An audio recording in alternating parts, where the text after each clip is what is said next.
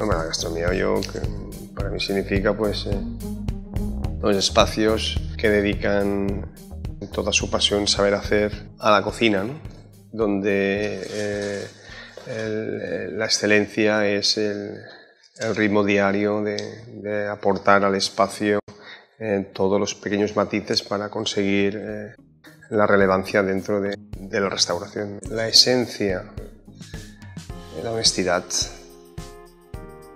Yo creo que la honestidad es muy importante en, cualquier buena cocina, ¿no? ser honestos.